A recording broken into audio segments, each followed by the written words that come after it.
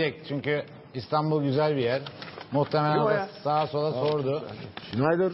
Schneider geldi. Evet Schneider'imiz şu anda Evet. Telego stüdyolarına. Evet Ulaşmış vaziyette. Schneider. Evet gösterelim Schneider'i. Evet. Schneider burada. Dokunma. Biz gelmeden gelmeden önce evet Oynama aynen. kardeşim. Bakayım saçları Aynen. da yok Gökbel abi onun da. Evet. O da bizim gibi Aynen kellerden. geldi. Eşi müsaade ederse geleceğim. Kafa büyüklüğünüz hemen hemen aynı. Aynen öyle mi? Aynı Evet. Sen orada ben göremiyorum. Gökmen bir pot büyük abi. Orada bak. Efendim? Gökmen bir pot büyük O saç kafadan. farkıyla bir de gıdık farkıyla. Evet Gökmen Özanak Schneider oldu. Böyle devam eder misin Gökmen Özanak terlemeden?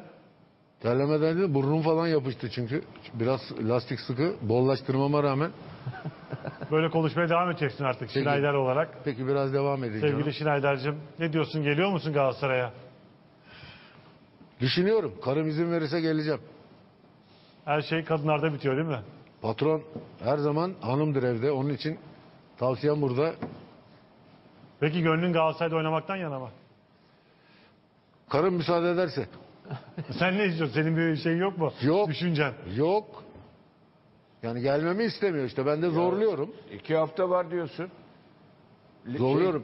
Şey, transferi bitmesine iki Abi. hafta var diyorsun. Abi benim adıma konuşma. Abi, Ziya Şengül benim adıma konuşma. Peki Snyder Belki olayı, biraz- belki olayı ben kızıştırmak istiyorum. Daha fazla para alayım. Senelerdir Türkiye'de öyle çünkü. Kızıştırdıkça daha çok para veriyorlarmış. Ben abi, de öyle ne isteyeceksin? bir 15 16 gün daha bekliyorum ki belki fiyatımı arttırırlar ederler. Yahut da bir yerden iyi teklif eder oraya zıplarım yani. Abi pardon. Olabilir yani. Para, bu canlı taş, işi bu. Parana taş koymayalım baba. istediğin Telegol'de Gökmen Özanak söylüyor her zaman canlı. Ben de ondan esinlenerek canlı diye Sen tam kullanıyorum. vallahi Schneider'in havasına girmişsin. Aynen nasıl girmeyeyim ya? Gökmen abi biraz soluktan şöyle bir kaldır istiyorsan bir görelim. İyi olur yani.